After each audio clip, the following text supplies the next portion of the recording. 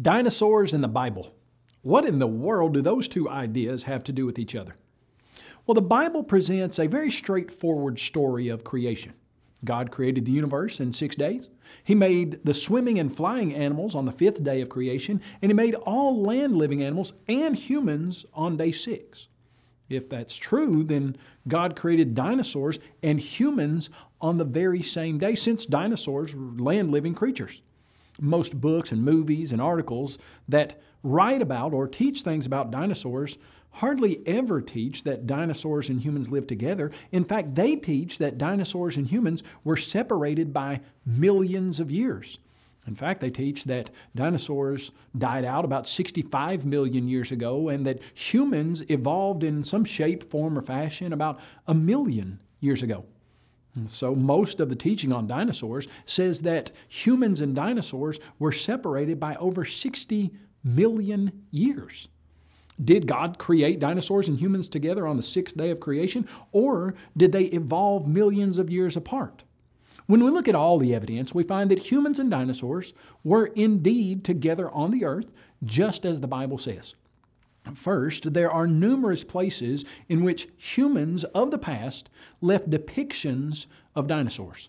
On the Kachina Natural Bridge in Blanding, Utah, there's a wall carving that the Anasazi Indians put there that one evolutionist stated bears a startling resemblance to a dinosaur.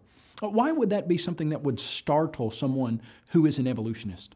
Well, because you're finding something that you didn't expect to find. It's startling, almost gives you a start, a carving of a dinosaur that Indians put there and showing that Indians could have seen those reptiles. In addition, there's a fossil of a dinosaur that resembles the carving of an Apatosaurus that was found only 45 miles away from the Kachina Natural Bridge. In a temple in Cambodia, we know it was constructed in 1187 AD and researchers found a carving that resembles a dinosaur there. In fact, one expert in Cambodian art stated that the carving is, and I quote, a very convincing representation of a stegosaurus. In Peru, ancient Indian burial stones have been found that have animals carved on them that match our understanding of dinosaurs. Interestingly, these stones, they were found beginning in the 1930s, yet they had plant eating dinosaurs depicted on them that had spikes on their backs. What's unusual about this is that we didn't know that those long necked, long tailed plant eating dinosaurs had spikes on their back until we found fossilized skin in 1991. In addition, in Acambaro, Mexico, there have been hundreds of clay figurines that were unearthed in the 1940s that depicted dinosaurs in various different positions and actions. You add to this the fact that recent dinosaur fossils have been found that aren't complete fossils, they're actually bones that have some soft tissue in them. The bone has been mineralized, but the soft tissue has not partial red blood cells and collagen are still present in numerous dinosaur fossils. If these fossils were millions of years old, the fragile soft tissues, they would have long decayed and been mineralized, but they weren't. Furthermore, the Bible is the most historically accurate record available to humans. It says very plainly that God created everything in six days. That would mean that dinosaurs and humans were created on the very same day. And the Bible also mentions an animal called a behemoth. And the text states that God made along with humans. It says that behemoth eats grass like an ox. See now, his strength is in his hips and his power is in his stomach muscles. He moves his tail like a cedar. His bones are like beams of bronze. You read that in the book of Job, chapter 40, verses 15 and following. Some people have suggested that, well, this has got to be an elephant or a hippopotamus. That doesn't make any sense. Elephants and hippopotamuses, they don't have huge tails that swing like a cedar. What would? A huge plant eating dinosaur matches the description perfectly.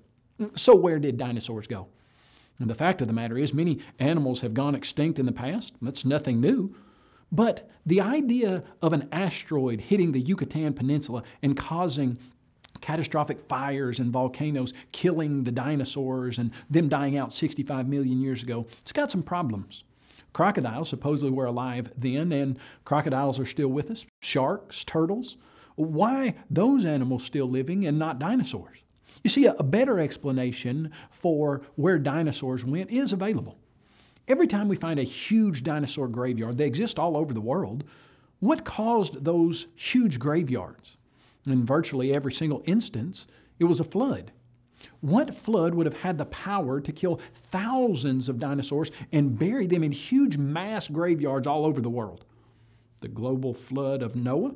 It provides a perfect answer. But if you're thinking through it, if the flood killed most of the dinosaurs, what about the ancient human artwork?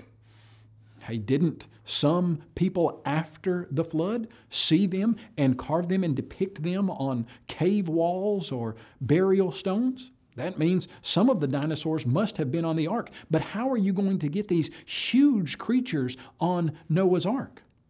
Well, the answer is much simpler than most people think. The largest dinosaur egg that we've ever found is about 24 inches long. Noah simply could have taken freshly hatched dinosaurs on the ark that would have taken care of lots of the problems of the room that you would have needed to house them and the food that you would have needed to feed them. You know, when we get to look at all the evidence, we realize that when we really know about dinosaurs and all of the facts, those fit perfectly with the story of creation found in the Bible. On day six, God created humans and all land animals, including dinosaurs.